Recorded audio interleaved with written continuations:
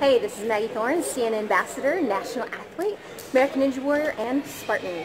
I'm at UNL Outdoor Recreational Center Climbing Gym, and today I'm going to show you one of my favorite workouts that helps me with endurance, grip strength, and my mental acuity. It's fun to break up the training.